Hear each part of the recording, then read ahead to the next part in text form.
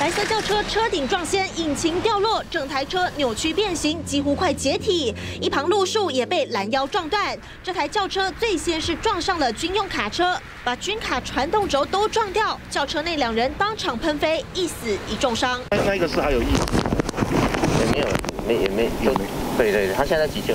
事情发生在台中大理环河路，清晨五点，陆军第十军团两三四机步旅的车队刚完成作战计划演练，要回部队，没想到开到一半，后方突然冲出一辆轿车撞过来，整车的阿兵哥都吓到，赶紧下车帮忙。由于军方有随行救护车，第一时间将轿车重伤的人送医急救。他撞到我们，他动作应该是蛮快的。两男因喷飞车外。